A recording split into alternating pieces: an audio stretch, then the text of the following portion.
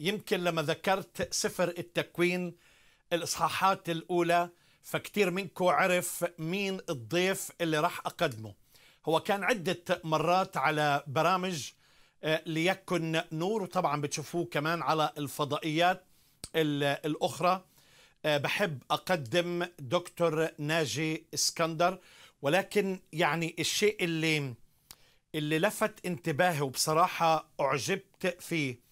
إنه دكتور ناجي مع إنه عنده الكريدنشلز كلها كل الكفاءات. فهو زميل الكلية الملكية للجراحين بإنجلترا. وفي نفس الوقت يعني اشتغل في هذا الحقل أكثر من 25 سنة في آه، في الطب.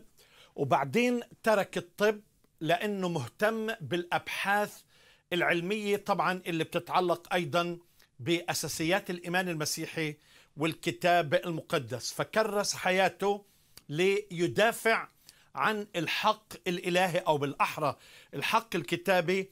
وكنا من زمان اللي اللي كان بشاهدنا إحنا تكلمنا عن الكتاب آه، الخليقة تحت المجهر. أخيرا طلع وطبعا موجود في الكنيسة يمكن المرقسية في في مصر.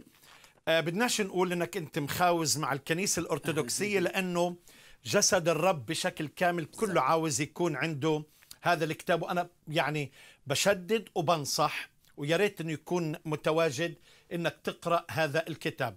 أهلا وسهلا دكتور ناجي. أهلا يا سيس نزار. أنا بيسعدني جدا إني أشارك معاك في هذا البرنامج الرائع عشان نتكلم عن قضية في منتهى الأهمية بتتحدى الشباب والكبار وهي صدق كلمة الله من أول عدد في هذا ال- الكتاب المقدس. في البدء خلق الله السماوات والأرض. إذا كان العدد الأول مش صادق فإزاي هنصدق بقية كلمة الله؟ لكن إحنا بنؤكد إن هذا الكتاب صادق وإنه الله هو الخالق والأدلة على ذلك أكثر من كثيره الحقيقة.